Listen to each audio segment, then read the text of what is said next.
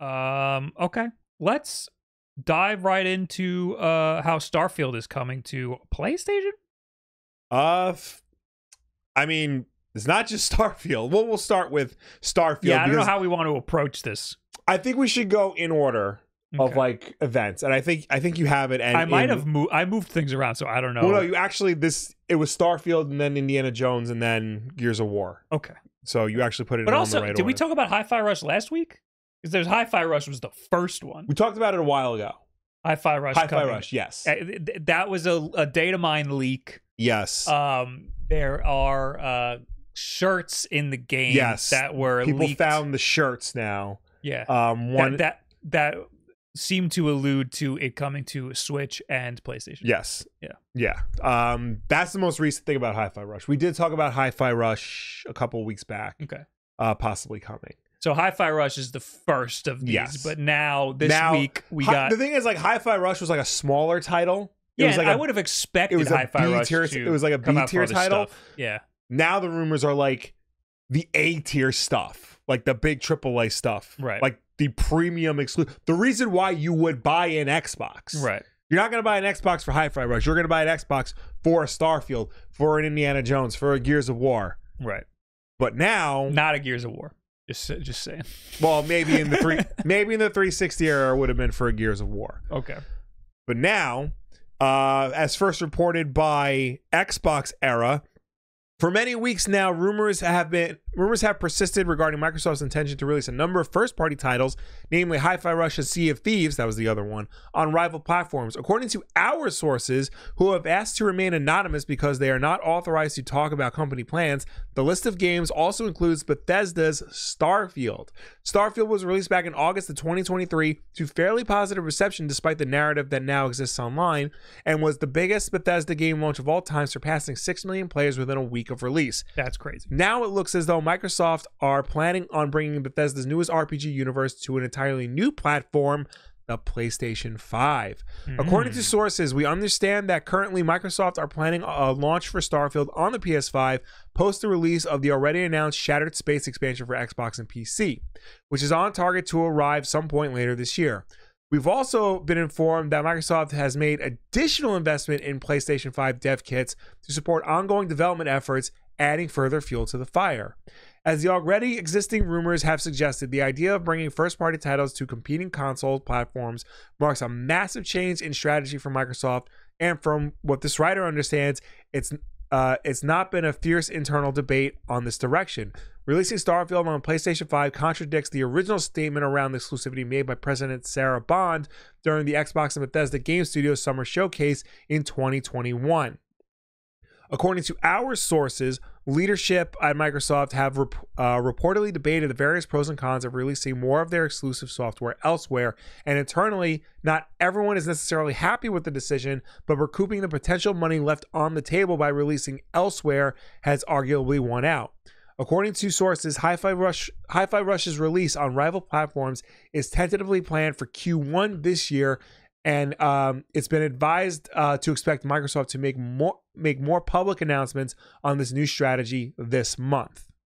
So they said bidding pros and cons of releasing it on others releasing their software elsewhere. Yeah, Uh recouping the potential money left on the table. Is it because they aren't selling a lot of uh consoles? Is that what they're referring yeah, to? probably. I mean, so yeah, they sold six million units, but they sold six million units between Xbox and PC. This is a Bethesda title. It's a Todd Howard Bethesda title specifically. That could have sold uh, 10 million units, 20 million units had it been released on other systems like PlayStation, which has a factually a bigger install base. You know, I saw a chart that was released a few days ago that was a system sales across the globe in different regions, uh, which ones are on top. Yeah. And I saw a lot of Xbox and Steam Deck. And that surprised me because they don't sell that much. Yeah. but I was wondering maybe if that statistic was skewed maybe they took out the switch because if they had the switch in there Yeah. that would be the whole globe would be the switch Yeah. maybe they took out the playstation 5 because otherwise it would just be the switch and the playstation Right. 5 Uh, so I don't know what I was looking at, to be honest. But I was surprised to see a lot of Xbox Series S Yeah. because I think that's just a cheap entryway into getting a modern Yeah. console these days. And I was surprised to see a lot of Steam Deck. Um, I'm not surprised that Microsoft would want to put their uh, stuff on other consoles. Right. Uh, it seems like that's just the way they've been going about things. There was a controversy when Starfield was coming out that it was originally being developed for PlayStation, Right. And then, It was in development before Microsoft acquired Bethesda. right, And once Microsoft did, you know, this is before they made the official announcement. Mhm. Once Microsoft acquired Bethesda, they basically started saying, okay, um, aside from, you know, Deathloop and Ghostwire Tokyo and like one or two other games, all Bethesda games going forward are going to be Xbox exclusive. right. That includes the next game that got revealed to possibly Oh, go into. PlayStation. Bethesda's upcoming Indiana Jones is also tentatively set to launch on Sony's PlayStation 5 console. We got our first glimpse of Indiana Jones in the Great Circle during Microsoft's uh, Xbox Developer Direct event last month, where it was announced for PC and Xbox. A source familiar with Microsoft's plan tells The Verge that Bethesda is also considering bringing the Great Circle to PlayStation 5. A new multi platform approach for certain Xbox games is emerging inside Microsoft, we're told, with the company weighing up its titles with uh will remain well sorry, uh with the company weighing up which titles will remain exclusive and others that will appear on Switch or PS5 in the future. Indiana Jones appears to be part of a new wave of multi-platform games. While Bethesda will launch its Indiana Jones game first as an Xbox exclusive, uh, it's currently set to have a rather short period of exclusivity. Uh, a release for PlayStation 5 is being considered for some months later, with Bethesda tentatively targeting a December 2024 release Wow. for the Xbox and PC versions. Exact timing and platform availability for Indiana Jones and the Great Circle could change, particularly as Microsoft's new multi platform approach for Xbox games hasn't been finalized. Microsoft has been evaluating bringing certain games to PS5 and Switch. Uh, sea of Thieves and Hi-Fi Rush are both reportedly been under cross-platform consideration. Um, and you can see below where the shirts we were talking about before, um, they're color-coded for the specific consoles. Yeah, and then the rock out anywhere seems to suggest that Yeah. it's uh uh the Switch because it's portable. Yeah. Um, th- this could. There's a lot of different ways they could go about this. Um, Mm-hmm. it could be a timed exclusivity thing going forward, like how PlayStation does uh PC games. they always release PC games later. They, they'll Yeah. release their stuff on PlayStation consoles exclusively, and then like a year Yeah. later, usually, or sometimes it's six months, but usually it's a year Usually it's here. Yeah. they will release the Mm-hmm. game for PC. yeah. Uh, Xbox could do a similar thing, but the way that this is all all this news is coming out so fast, it seems like this might just be the way things are going forward. Yeah. I think this has been, you know, something that they've been considering a long time. Yeah. I think they they see the writing on the wall that So, like something like uh, Indiana Jones will take a while because they they didn't have these plans initially and they've been developing Well, it for their own Uh, consoles. as the article says, last year uh, it was learned during the FTC versus Microsoft case that Indiana Jones and the Great Circle was originally planned for multiple consoles. Pete Hines, Bethesda's former head of global publishing, testified that Disney had a contract for multiple consoles and that the deal was amended to be an Xbox console exclusive after the Microsoft acquisition. Oh, so Hines put Hines put the change down to potential delays in bringing the game to multiple consoles, adding that you're dealing with a licensor who's going to have a ton of feedback on what you're making, adding a lot of time to your schedule. So this was already a Bethesda game before Microsoft acquired Yes. them. I didn't even know that. Yeah. Uh, or before that it was even in talks of happening. Um, interesting. But also like Starfield, we know that that was being worked on for PlayStation, then it was not being worked on for PlayStation Yeah. anymore. And now all of a sudden it's being worked on for PlayStation again. So it's going to take time for some of the games that are currently in development to drop Yeah. for other consoles. But something like Hi-Fi Rush, I'd imagine that that's just a, that just first of all, it's a much smaller game. It'd Yeah. be easier to port that to other stuff. And that just seems like it would be a perfect game for other platforms, Right. specifically the Switch. Yeah. Um possibly now like have Starfield and Indiana Jones, those are Bethesda games. They were in development for PlayStation before Microsoft uh purchased them. It would make sense for those to go multi-platform. Mhm. I think the shocking thing is the next article Oh, which is Gears of War. yes. Uh, Microsoft is reportedly considering bringing Gears of War, the franchise, to PlayStation. That's according to Giant Bomb's Jeff Grubb, who was elaborating on recent claims that Microsoft is working on a new initiative to release more Xbox exclusives uh, on other platforms. Over the weekend, it was claimed that Starfield and Indiana Jones will be coming to PlayStation 5 as well as Hi-Fi Rush and Sea of Thieves. Um, the other one that I've heard that's definitely under consideration, it doesn't mean it's going to happen, but it's in talks, is Gears of War. Grubb said on Monday, Gears of War is being considered for this. Um, Grubb also stated that Microsoft was at one point planning to publicly explain its new initiative at the end of February, but that given the mounting speculation, there's a chance that an official announcement will be brought forward.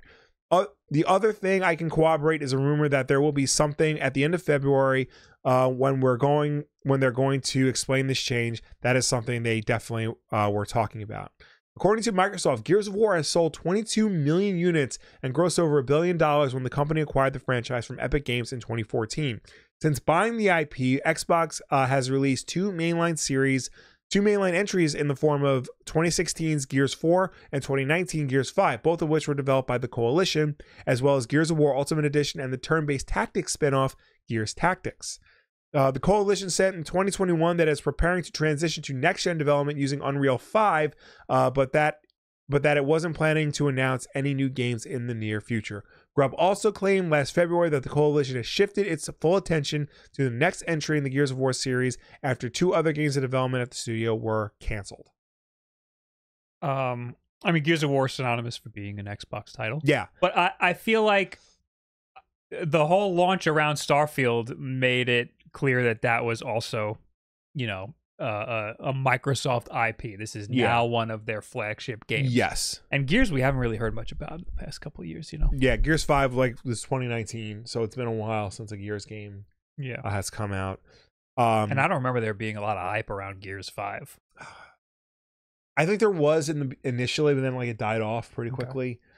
Okay. Um yeah, Gears does not have the staying power that it once did like during the 360 era. Yeah. Um but still, like I would say, Gears of War is like their number two franchise right under Halo. Like that is like that's as synonymous with Xbox. that's not else. saying too much. I mean, they got Forza, they got Fable. I mean, like they haven't really done anything with Fable. Mm-hmm. Fable's Fable's now probably like the number six franchise at this point. Mm-hmm. But like, you know, this is this is probably a bad comparison, but like Halo and Gears, it's like Mario and Zelda. Yeah, you know? no, Gears is up there. Uh with uh like name recognition and stuff. But yeah. but uh I just don't see Gears as that big of a deal to Xbox. Even even though it is. It is a big deal. Right. It's just not. I just don't hold Gears in such high regard as I do some of the other Xbox right. stuff like Forza, yeah, and like now Starfield, yeah. Um, but it is a kind of a huge deal for them to let go of Gears and put it on something else. Yeah, it would be similar to Halo. Yeah, and it is possible that we end up seeing. Yeah, I mean, I mean, there hasn't been any reporting on it, but there has been like a lot of speculation online that we could see Halo Infinite on PlayStation, mm-hmm. which I don't think they would do. I think Halo is too precious to them. I don't know. You don't? You think there's a possibility? I think there's a possibility we get the Master Chief Collection on other platforms. Okay. I think it would take some sort of Game Pass situation on other platforms. Yeah. Or some sort of, you know, like Xbox app on the Switch or something. Yeah. You know, like like a like a Game Pass streaming thing on the Switch or yeah. something like that to be able to play your Halo games. Mm-hmm. Or we'll have to see what happens with the next Halo game because yeah. the last Halo game people were not very happy with. No. So the next one's got to be something weird and wacky and different, and there, has got to be some sort of different business model for that. Yeah. So they might end up releasing it for other platforms. All that said, Phil Spencer did respond on February 5th. He said, we are listening and we hear you. We've been planning a business update event for next week where we look forward to sharing more details with you about our vision for the future of Xbox. Stay tuned. Yeah, usually they would just straight up say like like no, we're committed to Xbox yeah. or whatever. Or but, they wouldn't say anything. Or they wouldn't say anything. And and here they're like no, we've got something for you. Yeah. So so they, they to me that is they're not shutting down the rumors and they're pretty much uh, saying we will address it. So yeah. stay tuned. So that that's way different than the normal corporate speak we usually hear about. Um, I do also a lot of this is being talked about for PlayStation, uh, except for Hi-Fi Rush, which is what they should say pretty much said with Switch. Um, look, Starfield would be almost impossible to put on the Switch, Oh, yeah. but a Switch Two, no, Yeah. because uh, Starfield right out the gate is working on all these other PC handhelds. Yeah. I don't see why they couldn't have that stuff working for a next generation uh, Switch. Yeah. I don't know how powerful this next generation Switch going to be. It's going to Yeah. definitely going to be more powerful than the one that we have now. Mhm. Um, and I think that a game that is developed for PC, like Starfield is, has the potential to run uh, just fine on the next generation Switch. It'll probably have shitty textures Yeah. and be 30 frames per second, but it'll run and and you'll be able to play your game. I think there's also the possibility that like, you know, the Switch 2 is just powerful enough to get Game Pass Cloud running Yes. so that they can you know, cuz by the next generation of Switch, maybe they'll have Game Pass up to the point where they can have more games streaming from the cloud. So you can do it on your phone or on your Switch. Yeah, I'm very curious how that would work. Like I I do want Microsoft stuff on other platforms and I would love Game Pass on other platforms. I don't know how much PlayStation or Nintendo would like to have Game Pass on their platforms. Like yeah. if I if you put Starfield on the Switch but you have to have a Game Pass subscription in order to play it, Nintendo isn't seeing any money from that. Yeah. So there's got to be some sort of deal going on there. Maybe if there's a certain amount of downloads from Switch platform, they they give Yeah. Nintendo some money or something. Same thing with PlayStation. Like if I can log into my uh Game Pass account on PlayStation, why would I buy the game on PlayStation? Yeah. I could just play it through Game Pass. Something like that would be really cool to see, but probably won't happen. So I don't know how this will work. Maybe you will probably have to buy the software outright on these other platforms, Yeah. especially because uh, I mean Nintendo has their own sort of online system, but it's a lot different than Microsoft's and Sony's. Yeah. Sony has one that is very similar to Game Pass, so they're not Mhm. going to want to have Game Pass on, Yeah. on their platform. That's going to be a little different. Also, uh, Microsoft does not have a handheld. No. They're using uh, the ROG Ally and the and the Steam Deck and stuff. Well, actually, just really just the PC handhelds, Yeah. the Windows stuff. They're and using uh, the. Logitech. The Logitech, yeah, that the Android-based uh, Game Pass machine. yeah. They're using those as their flagship handhelds because you could Mhm. just use their service through those. Um, PlayStation uh, has the Portal now, yes. and you actually, I was go- I was about to say you it it would be better with their subscription service, but actually no, Yeah. because you can't play your games off Yeah. of the cloud. I forgot I forgot exactly how fucking terrible that thing was. Mm-hmm. Um, but the Switch is the Switch; it's a handheld. So Yeah. uh, Microsoft offloading their stuff onto something like a Switch would make a lot of sense Mhm. uh, because they don't have their own little handheld. They have other ancillary little handhelds. Yeah. Uh, PlayStation might want to just ha- enter the handheld market, but I guess we'll talk about that uh, later. Yeah. Yeah. So, yeah, brave new worlds we're entering into. Um, I'm for it. I mean, I like Xbox a lot, and I like uh, the services that they have. yeah. Um, I rarely ever utilize their hardware. Uh, I use an Xbox controller because Yeah. it's great, uh, but I play it on PC and stuff. I think this really does open the question, though. What does this mean for not Microsoft Game Studios? Because they'll be fine. They'll just release their games on their systems. But what does this mean for the Xbox console and the Xbox brand itself? Because we know that exclusives sell ga- sell consoles, Mhm. and now here's Microsoft saying that you it doesn't matter. You can get our exclusives anywhere.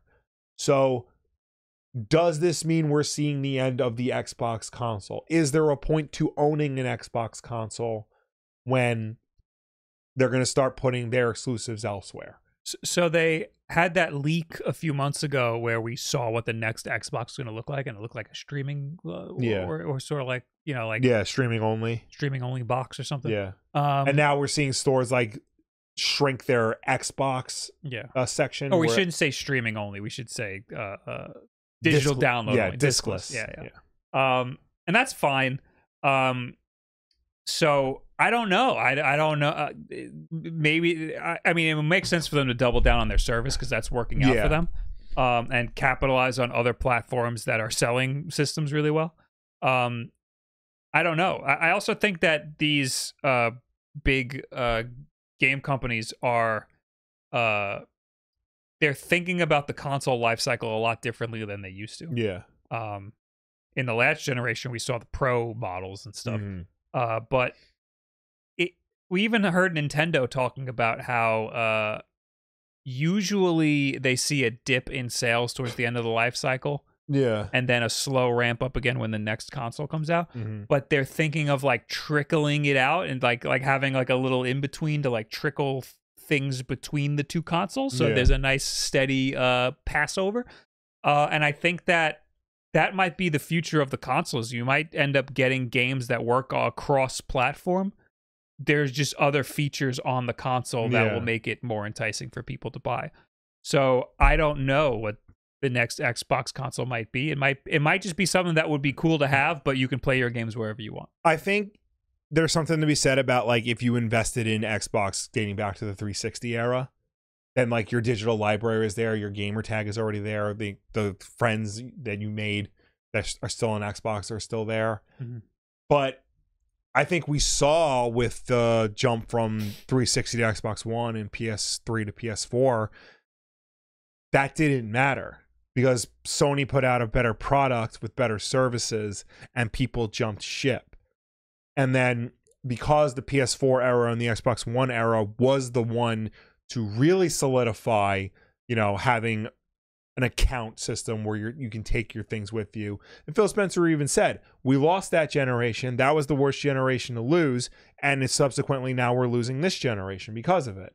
Mhm. So like they know they're in last place. They know that their division is not as strong as Nintendo's or Sony's is. So I understand the need to like do something in order to make the Xbox brand or the Microsoft Game Studio brand survive.